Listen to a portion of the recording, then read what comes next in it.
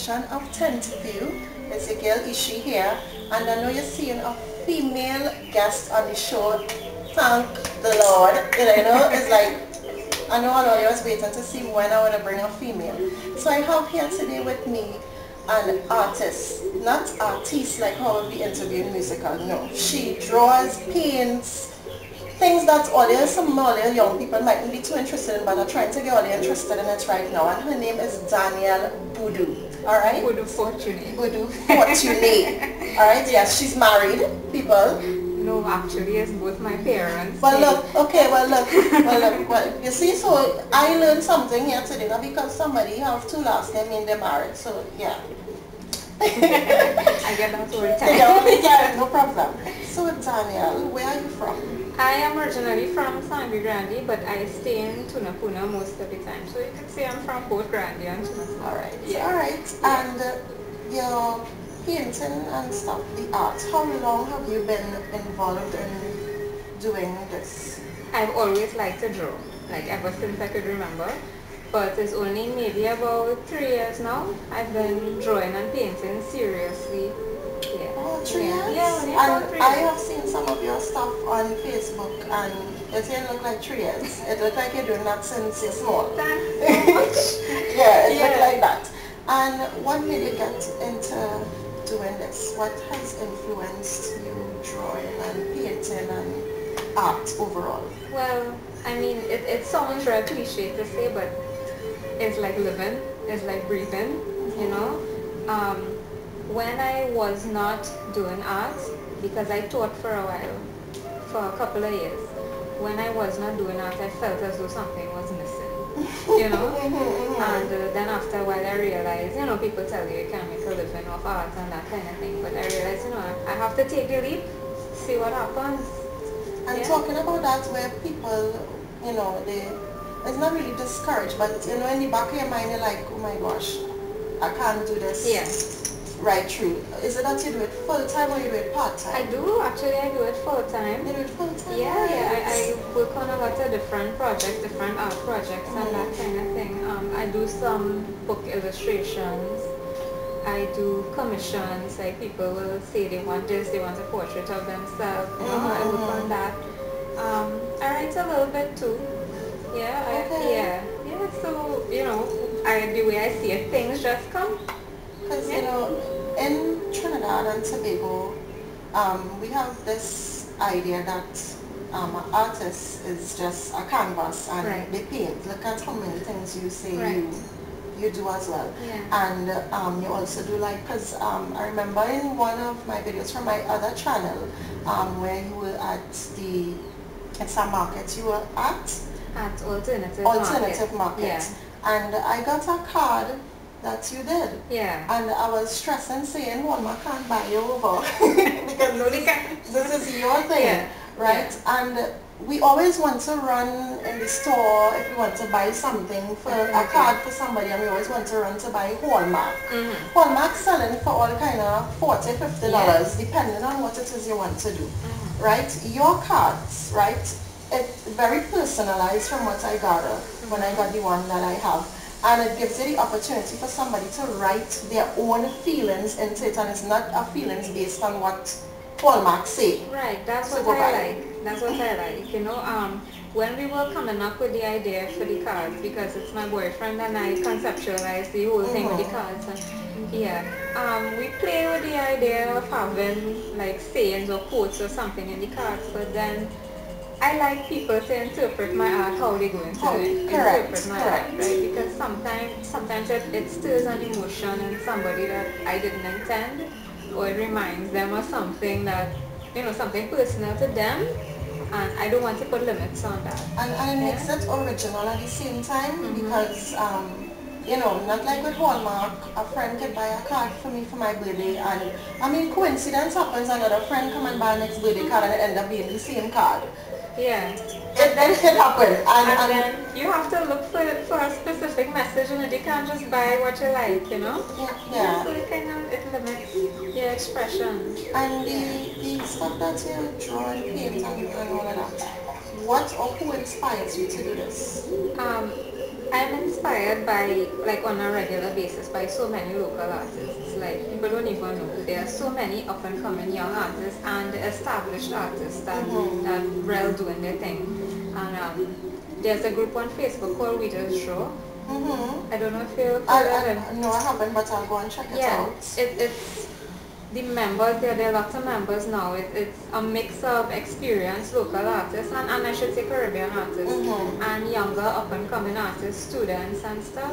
And it's amazing when you see the quality of stuff coming out. It's, it's really, really heartening to see what even like the, the younger generation is and, producing. and what I wanted yeah. to find out, um, is it that you went art school or anything, this is your natural talent that you put out here? Yeah. Natural. No art school. No, No, I, no I actually, and stuff like that to learn to draw. I studied literature in UB. Which is where the poetry side of you came out from. But I didn't study art. You didn't study Yeah, art. so So, it's just playing around now. so and that's the thing with some people, and I doesn't get it so much. Sometimes we have the natural ability to do something, Mhm. and it's the natural ability that will supersede something that we probably went to school to learn. And some people don't get that. The, Mhm. high society people, some of them, that's why it's kind of trim off. You need to have this qualification and that qualification Right. to be able to do it. Look at what you're putting out. And then I guess sometimes it limits how you create and, and the express express, yourself. expression, yeah. So I know you um, attend uh, like uh, arts markets and Mhm. stuff like that. How has that experience been for you in terms of the people that gravitate towards your pieces? It's been so interesting, you know. Um, I think interacting with people is the most fun aspect of it. You know, people Mhm. will pick up pieces and, and for some some people have a real personal reaction to the pieces, you know, and then they can't believe that, that the things are hand painted or come from actual art pieces. And um, it just on on a real personal level to me it makes me happy that, that my art you know, pe- people actually using these little handmade things with my art on yeah. it. Yeah, yeah. I mean, not for any, you know, reasons that, that I want it out there or anything like that, but because I think it's something that, that has the potential to, to you know, help people express Express themselves. and, and be a reflection of how they feel and have meaning to them and that kind of thing. I love that. So like Yeah. murals. I Mhm. know we were speaking and you stated you have one by the Savannah. Yeah. Is it that the only mural that you have publicly painted and Um, stuff that people can That, visit? that one was the um, Urban Hobby Project, which took place in April. I think Mhm. it's- it was 10 of us, and it was a kind of collaborative project where everybody took piece and then it was all blended, which was such a cool experience. And, and if you haven't seen it, you should go check it out. And um, I also recently, for the Represent Regional Mural Project, Mm-hmm. yeah, I did a, a small one in Sangre Grande.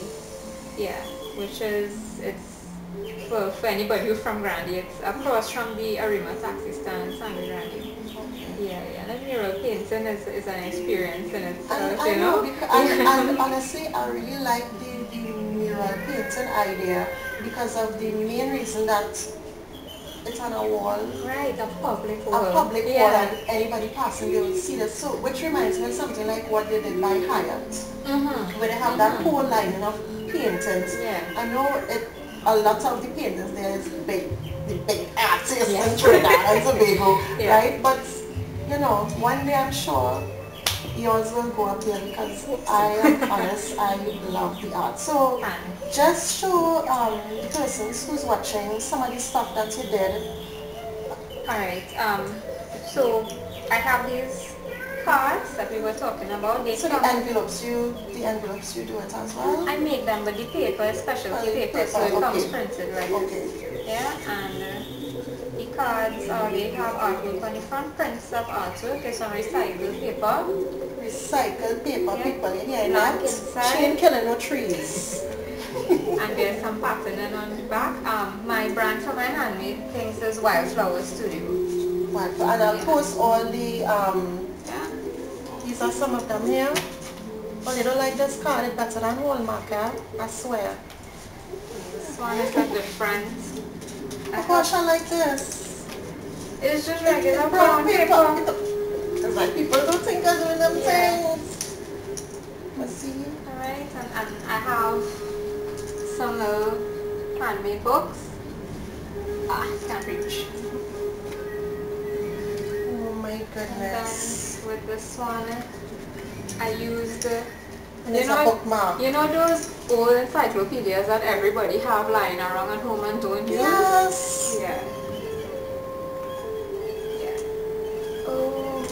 Goodness. And this is I like this. one of my bags. Oh, so you do bags too? Yep. yeah, this is one of my bags. Each of the bags is painted individually.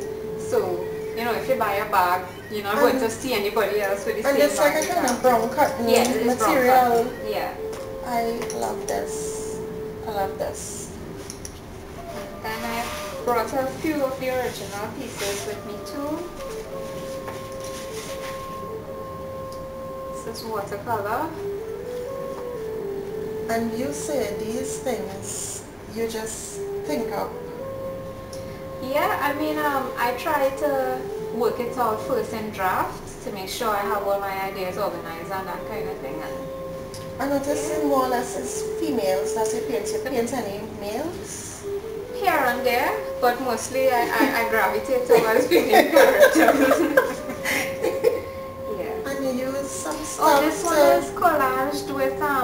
Coconut fiber. Um, I have pieces of banana leaf and branches and that kind of thing. all this stuff here. Natural nature stuff. Oh my goodness.